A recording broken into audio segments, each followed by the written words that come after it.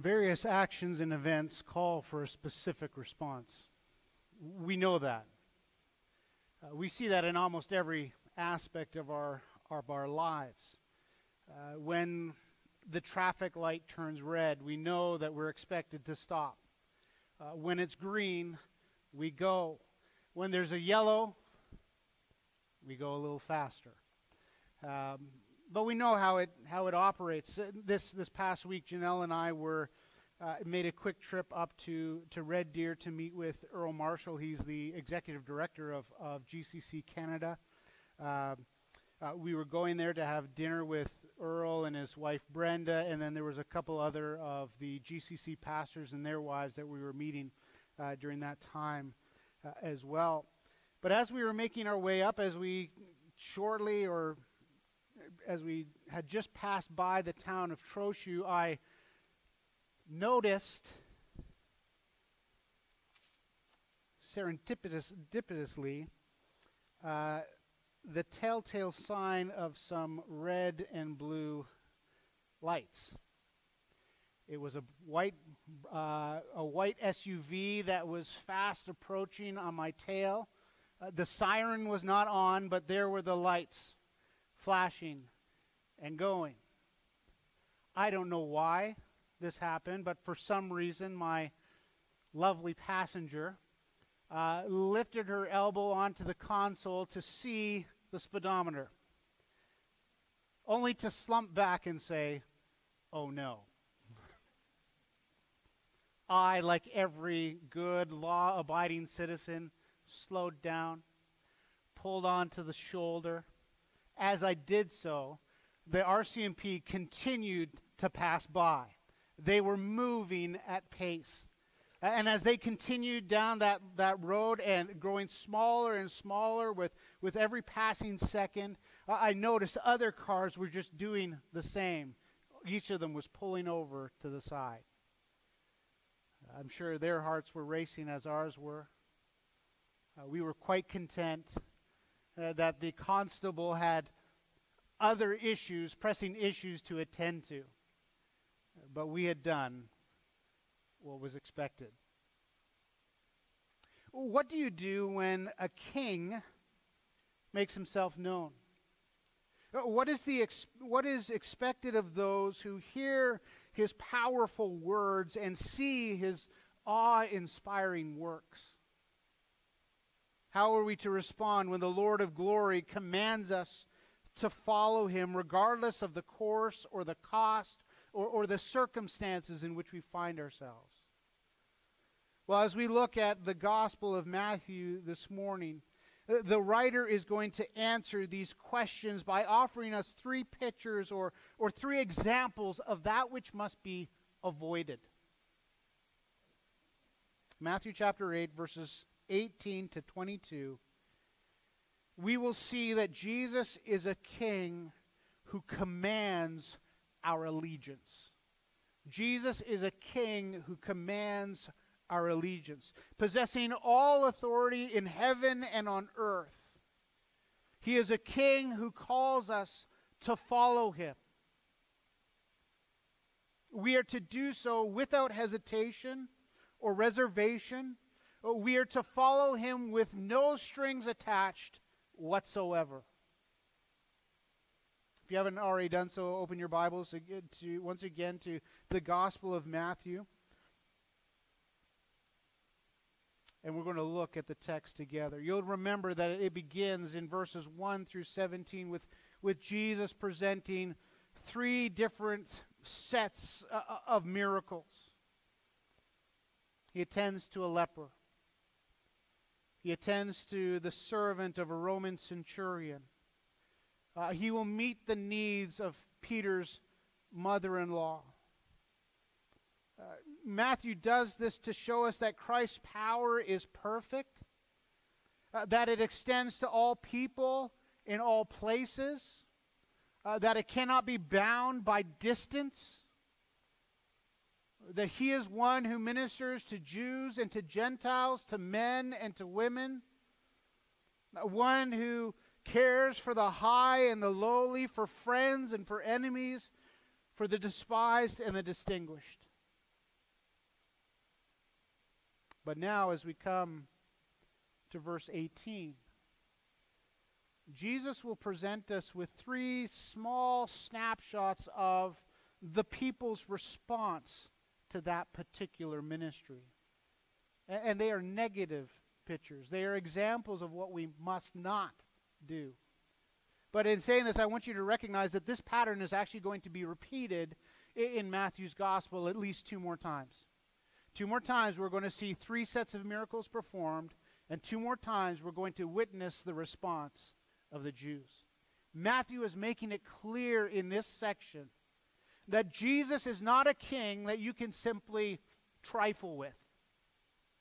He's not a monarch in name only. Uh, he's not a king that you can kind of tip your hat to and then just go on your merry way. No, Jesus is a king who commands our allegiance. He expects it and he demands it. We'll see that as we look into God's word this morning. So, with that in mind, let's stand for the reading of the text. We'll begin at Matthew chapter 8, verse 18, and continue reading to the end of verse 22. So, this is the word of the Lord. This is his inspired, inerrant word. This is the word that is meant to teach us and to instruct us in righteousness. So, Matthew begins by saying this. He says in verse 18 Now, when Jesus saw the crowd around him, he gave orders to depart to the other side of the sea. Then a scribe came to him and said to him, Teacher, I, I will follow you wherever you go. Jesus said to him, The foxes have holes, and the birds of the air have nests, but the Son of Man has nowhere to lay his head. Another of the disciples said to him, Lord, permit me first to go and bury my father. But Jesus said to him, Follow me, and allow the dead to bury their own dead. This is the word of the Lord. Let us receive it as such. Let's bow together in prayer. Our gracious God and Heavenly Father, we have come and gathered recognizing that we are not to forsake the assembling of ourselves together, but we are to, to join. We are to come together in, at times like these so that we might stir each other up to love and good deeds as we witness the person and work of our Lord and Savior Jesus Christ. And so, Father, we, we ask that you would help us in this endeavor, that you would guide our hearts and minds, so that we would see Jesus as he truly is and respond to him as we ought. So, help us to apply this text, to give it the attention it deserves, not only now but in the days and the weeks and the months to come. We pray this in Christ's most precious name. Amen. Thank you, brothers and sisters. Please be seated. As indicated earlier, our text involves three separate people groups. Uh, and beginning in verse 18, we are going to move in some ways from the general to the specific because it, it's here at the outset of, of our text that that, that Matthew draws our attention to the crowd. Jesus, or, or Matthew tells us that Jesus saw a crowd around him. And, and, and the Greek is actually a little bit more specific. Uh, most of our translations don't, don't capture it except for the, the New King James Version. Uh, what we find here is, in, in particular in the, in the Greek text, is that Jesus is not surrounded by a crowd, but by numerous crowds. Uh, he is surrounded by a great multitude, uh, by various groups of people who have come together from, from all parts of the northern region and beyond. Uh, these people have gathered because of Jesus. Uh, rumors have, have spread concerning his bold teaching and, and his inexplicable acts uh, miracles that defy expectation. Miracles that no one has ever seen or heard of. They have come more out of curiosity than conviction. They've come to see and hear these things for themselves. Reflecting on this grand assembly, Chuck Swindoll states the following. He says this He says, In, in my experience, crowds are sort of self perpetuating. When they get large enough and reach critical mass, they de- develop their own gravitational pull.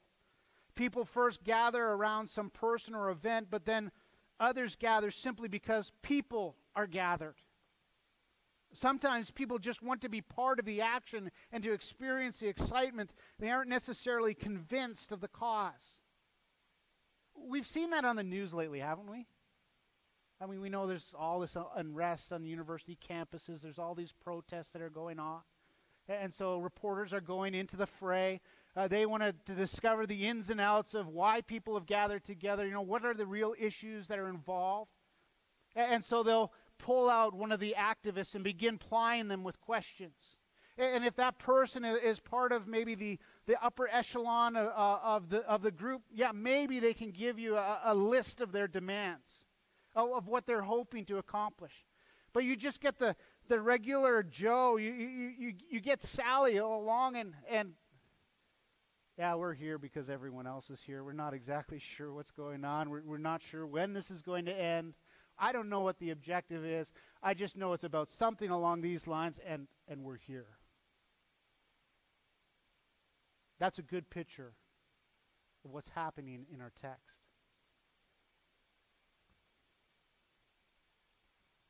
These people have gathered around Jesus. Most of them have come for the show. Uh, they want to sit back and and enjoy the drama as Jesus spars with his with his detractors and as he does the spectacular.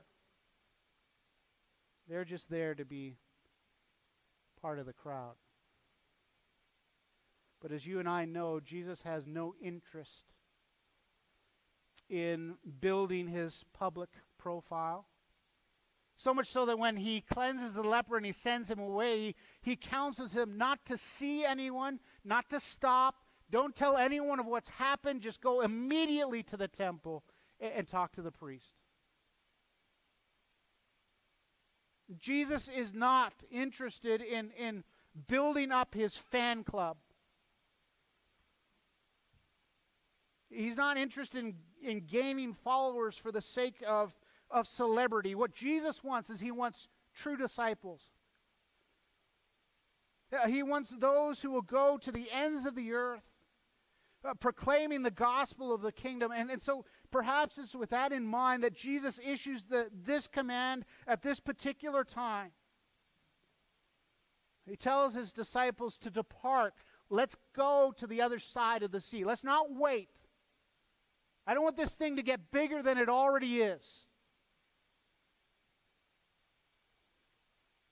I don't want more people to come. I want fewer. Let's depart. Let's go away. I mean, the move is calculated, it, serves several purposes. We know that Jesus is both fully God and fully man, true God, true man. We know that he, as a human being, he needs rest. He needs time to recuperate because he has spent a, a, massive amount of time ministering to these people. He's been up early in the day, late into the evening. Uh, the, the, the, the knocks on the door have been incessant, they have not let up. So Jesus needs to get away to be recharged, physically speaking. Not only that, but he needs to to have some quality time with his true disciples so that he might equip them for the ministry that, that lies ahead, a ministry that we're going to see them partake of in chapter 10.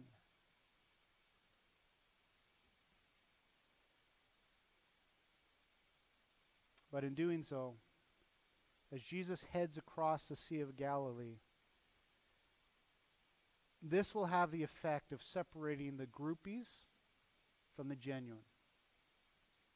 Uh, by making this journey, he will sift the, the fickle spectator from the faithful servant.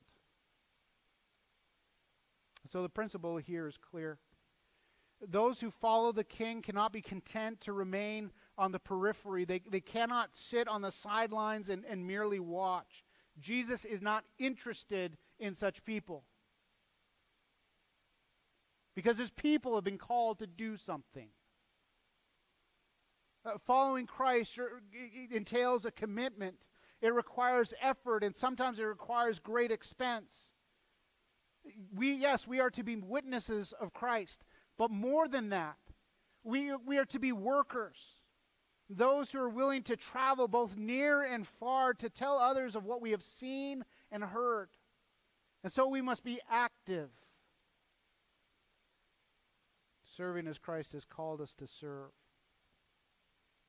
And yet, even then, our labor needs to be rightly motivated. Our labor needs to be rightly motivated. We see this in verses 19 and 20. It's here that we are invited to consider the example of the scribe. Look at what the writer says. He says, A scribe came to Jesus and said to him, Teacher, I will follow you wherever you go. What an interesting scene. I mean, picture this with me.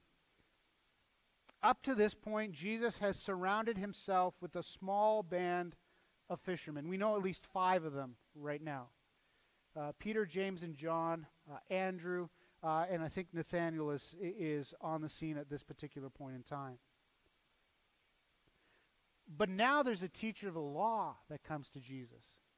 I mean, th- this is a group who has been and will continue to be a thorn in Jesus' side a, a group that is constantly hostile to, to the things that he says and, and does. He, he is the polar opposite of those whom Jesus has called to himself. The fishermen are rough, they are smelly. This is a man of letters. Uh, this a man is a man who occupies the upper uh, echelons uh, of, of respected society. He is uh, an intellectual. He comes from the ivory tower. I mean, ever since the days of Ezra the scribe, these have been the, the official interpreters of the law of Moses. I mean, it's astounding that this man has come that in some ways he has broken ranks with his fellow scribes and with the Pharisees. That this man would vow to follow Jesus wherever he goes. Yeah, it is an astounding statement. We rarely see it in Scripture. Even so, there are a couple clues that are embedded within the text that suggest that something is off. The first clue is the use of the title. The scribe calls Jesus a teacher. I mean, that in of itself is, is a concession. This man is a scribe. He's of the official guild uh, those who are recognized by the, the larger society as sitting in the seat of Moses, and, yet th- this scribe confers the same idea, the same title on Jesus himself. And yet, as we read through Matthew's gospel, the five times that this term is used and applied to Jesus, it is always applied by someone who does not recognize his divine authority. Someone who does not recognize who Jesus truly is. Second thing that is seems to indicate that something is off here is the statement itself. Uh, I mean, this is the first and only time, as far as I can tell, that an individual volunteers, comes to Jesus and, and offers his service in this particular capacity. On all other occasions, Jesus himself initiates the contact. Jesus himself is the one who commands the individual to follow him. This is a complete reversal of that order. And lastly, perhaps most convincingly, is the response of Christ himself. Look at, look at what he says in verse 20. Jesus says, The foxes have holes and the birds of the air have nests, but the Son of Man has nowhere to lay his head. On its own, this, this statement, it, it just seems disjointed, doesn't it? I mean, one doesn't simply, it, it just doesn't seem to follow after the other. It, it's nonsensical. Until we remember one thing Jesus is God's eternal Son. He shares all the attributes of his heavenly Father. He is omniscient, he is omnipresent, he is omnipotent. So Jesus, knowing all things, is able to discern this man's inner thoughts. He, he knows that this man has actually come with ulterior motives. And so he addresses that. See, by attaching himself to Jesus, this, this man who is capable of drawing such large crowds, by attaching himself to Jesus, this scribe hopes to, to lend some credibility to the Lord's ministry. He is hoping then that as Jesus continues to grow in popularity and influence, that he will be elevated by association. So the scribe is actually, has actually come seeking his own advancement. He's coming to uh, looking for greater prominence and prestige. Uh, he wants to see his own name inscribed on the history books. And so it's in this light that Jesus' response, his rebuke, makes complete sense. You'll notice how Jesus identifies himself in this particular passage. He does not identify himself as a teacher, although that's what he does. No, he identifies himself as the Son of Man. Th- this, this title will, will occur at least 80 times in, in the gospel narratives. Uh, it, it is the third most popular designation of Christ within these texts, but it is the favorite self descriptor that Jesus uses. It is his favorite way of referring to himself. Once you understand where he gets this descriptor, it, it is found in the book of Daniel, verses uh, chapter seven, verses thirteen and fourteen. If you have a moment, let's just flip over to Daniel chapter seven, verses 13 and 14. And, and just see how this term is used to, to understand to whom it is referring. Uh, if we were to go back uh, even just to verse 9, uh, we, we see that we're put into a, a future context.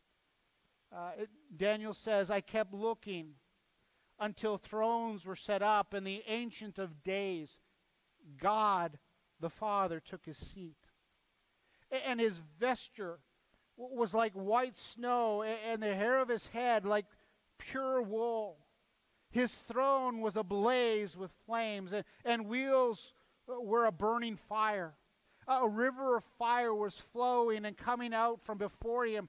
Thousands upon thousands were attending him, and myriads and myriads were standing before him. The court sat, and the books were open. Then, dropping down to verse 13, Daniel continues to describe the scene. He says, I kept looking in the night visions, and behold, with the clouds of heaven, one like a son of man was coming. And he came up to the Ancient of Days, and he was presented before him. And to him, the Son of Man, was given dominion glory, and a kingdom that all peoples, nations, and men of every language might serve him. His dominion is an everlasting dominion which will not pass away, and his kingdom is one which will not be destroyed. It's here that God's prophetic plan is presented in its most concise and compact form. Uh, this is the anchor uh, uh of Daniel's prophecy. Uh, this is the linchpin, of, really, of all prophetic literature. All of it uh, finds its source here, it flows into it and from it. This is the, the, the great narrative uh, of God's future plan. And it's here that, that we see that this Son of Man, this divine figure who, who rides in the clouds of heaven, that he will be given a, a, a kingdom or, or, a dominion and glory and, and a kingdom by the Ancient of Days. Jesus is pointing to himself as this person. And being such a person, he does not need anyone to help him. He doesn't need anyone to give him credibility, to, to salt his words with authority, to give him the power that he needs to do the things that he needs to do. No, he's the exalted one. He will have his kingdom because this is the Father's decree. Nevertheless, until that time, what Jesus tells us is, is that the Son of Man will know little of man's creature comforts. Rather than enjoying the luxuries befitting his exalted station, he tells us that God's servant will, will wander from place to place depending on the charity of others. He won't, he won't even have his own home. And that's what we see with Jesus when he starts his public ministry. That's why we see him going to Peter's home. That's why we see him spending time with Mary and Martha and Lazarus. Because the Son of Man has less, less than all the creatures of his realm, less than the birds of the air, less than the beasts of the field. He has no place to lay his head.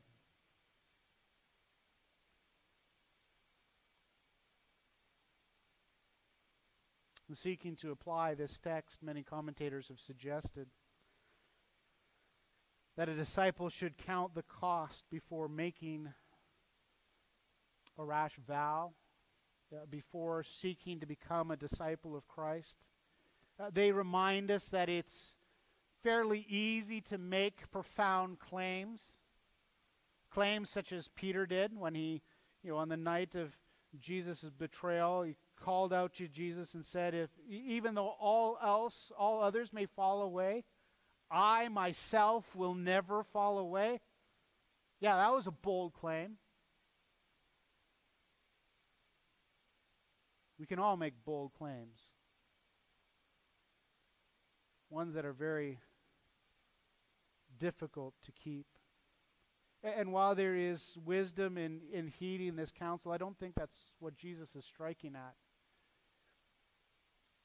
in this particular passage. I think he has a deeper target in mind. I think he's actually speaking to our motives, to, to our reason for coming to him. I mean, are we following Christ because of who he is, or, or are, we, are we following him because of what we seek to gain by such an alliance? Is this simply a, a utilitarian a- arrangement or real discipleship? If we come as the scribe does, believing that we have something to offer and there's something for us to gain in the here and now, then I would suggest we do not understand who Jesus is or what he's calling us to do. See, Christ is the heart, he's the core. he's the sum and substance of Christianity. I, I mean, that's shocking, isn't it?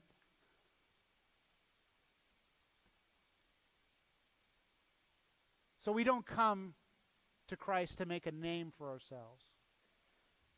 We, we come to Christ so that we might bow before the name which is above every other name. Uh, we don't come for what we can get. We come and giving thanks because Christ has already given us everything on Calvary's cross to, to ransom us from sin and death and, and hell. But we do not follow him for, for the status we may enjoy because we know that we will be hated by all men on account of, uh, uh, on account of him. We will be insulted. We will be reviled. We will be ostracized for his sake. No, we come so that we might serve the one who sits on the highest throne in the highest heaven who seeks our highest good. We come because it's not about us, it's about Christ and Christ alone. In verses 21 and 22, Matthew shifts his reader's attention once again. Not only have we looked at the crowd, but we've looked at the scribe. Now we're going to focus our attention on someone who is simply identified as another disciple. Look at our passage. Matthew tells us another of his disciples said to him, Lord, permit me first to go and bury my father. But Jesus said to him, Follow me. Follow me and allow the dead to bury their own dead. Apparently, this individual has followed Jesus for some time. Uh, we don't know how long this connection has persisted. Uh, we don't know if he has followed Jesus as he has crisscrossed the, the northern territories, if he has done this for a number of weeks or perhaps even a month or two. All, all we know is that this man is not a newbie. He has been with Christ for some time. He's seen the things that Christ has done. He's listened to the things that Christ has said. So much so that he is identified, at least, as a disciple.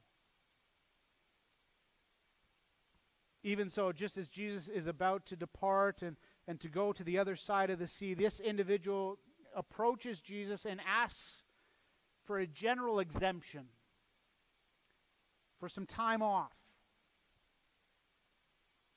He says he needs to attend to some personal matters, and so he wants to remain attached to Jesus, but, but to do so without having to physically follow him at the current time. He specifically tells us that he wants to go and to, to bury his father before he rejoins the ranks. Once again, Jesus' response let the dead bury their own dead. It sounds cold. It sounds perhaps even cruel to our modern ears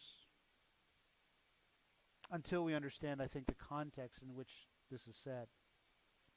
Uh, we need to understand that this man's father is not dead. We need to understand that he's probably not even sick. If he were, it would be it was it would it, it's doubtful that this man would be here at this particular time uh, since the Jews generally buried the in, an individual on the same day that they died. I mean, we, need to under, understand the Jews lived in a hot climate. They did not embalm their dead. And so when uh, a loved one died, the mourning did not happen before the funeral.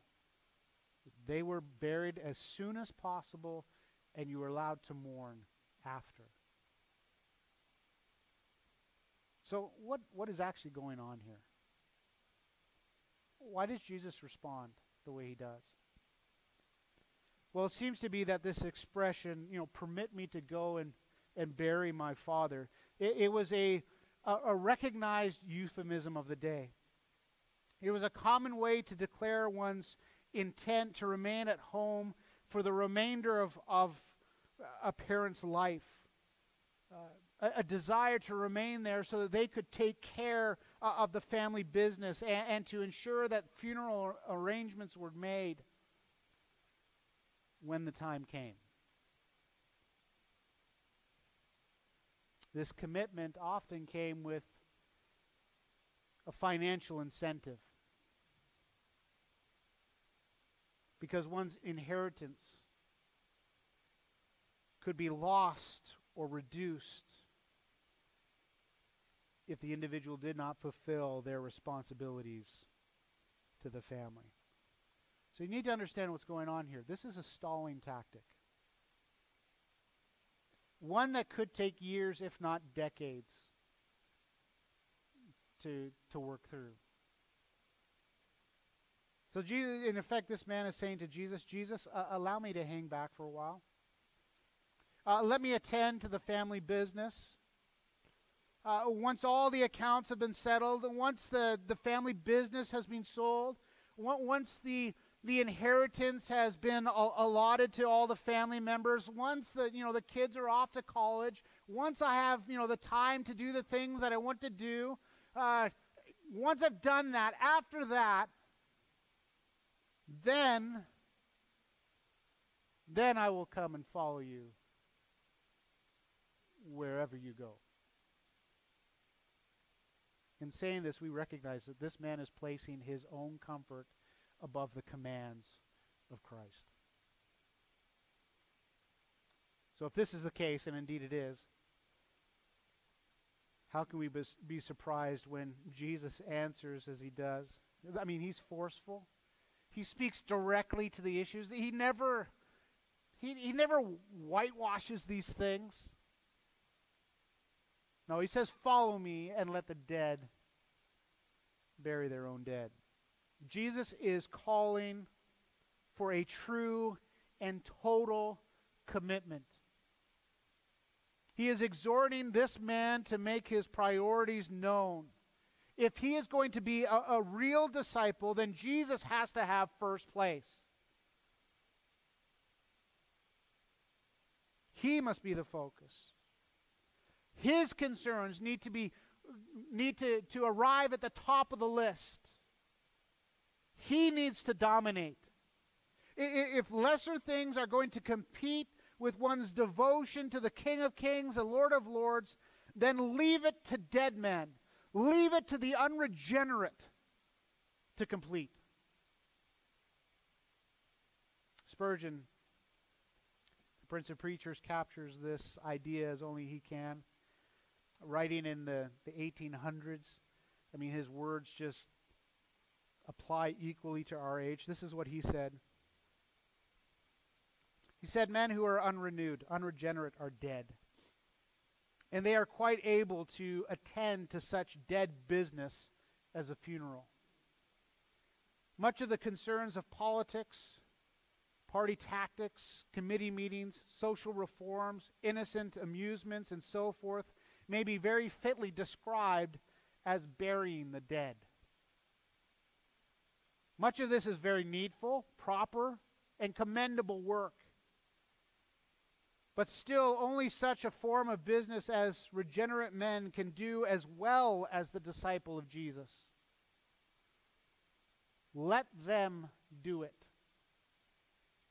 But if we are called to preach the gospel, and the reality is all of us are called to preach the gospel in our own individual context, if we are called to preach the gospel, let us give ourselves wholly to our sacred calling. Let not the higher worker entangle himself with what worldlings can do quite as well as he can. I think that's the right perspective. If we are to follow Christ, all of our cares and concerns must rightly be subordinated to the demands of our sovereign King. He must have the preeminence. We, we can't be like Augustine when in his earlier days he prayed, Lord, give me chastity and continence, but not now. No, our response needs to be immediate, it needs to be unwavering. while we're not given to folly, to ill planning, th- there should be little hesitation. Why? Because as followers of Christ, we are to seek His kingdom and His righteousness first, recognizing that all that is needed will be added in due time by our Savior. So Matthew has given us today, he has given us three pictures, three portraits of what not to do when Christ commands our allegiance. The crowds, they sat back. Uh, they were content to be passive spectators. The scribe was too eager, too ambitious, failing to understand the person and work of Christ. He, he wanted to press forward by aligning himself with Christ for his own sake, for his own personal advancement. The disciple was too timid, too tied to earthly concerns that he was unwilling to go when called. Where do you find yourself within the passage? Are you a watcher or a worker? Are, you one whose motives are perverted or pure? Are there temporal concerns that are holding you back? Are you hesitating? Or are you marching forward confident that the one who possesses all power and all authority in heaven and earth, that he is able to take care of his own? Our, our king has showed his hand. He's issued his command. He says, Follow me. So the question is will you obey? Will you respond to the king who demands our complete and total allegiance? Let's pray together. Father, we have come as servants who acknowledge their master's sovereignty, his right to rule over and dictate every aspect of our lives. We recognize that He is the creator and we are the creature. That He's the master. We are the slaves. And yet, Father, we also come knowing that we are faulty things. Knowing that we are not as committed or consistent as we ought to be. That we fall, that we stumble, that we are easily distracted. And so we pray that you would help us. Uh, help us to, to remember this text, to just drive it deep in, in, into our hearts and minds.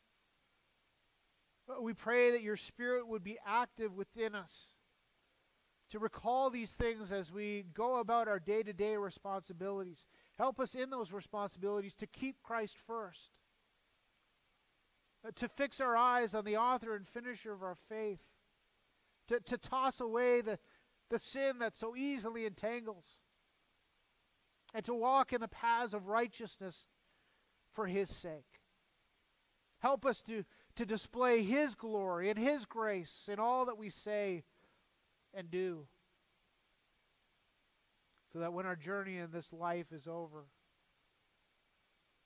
we might stand before the throne and hear Him say, Well done good and faithful servant. Help us to be true disciples, not those who are disciples in name only. We pray this for our good and for his glory. Amen.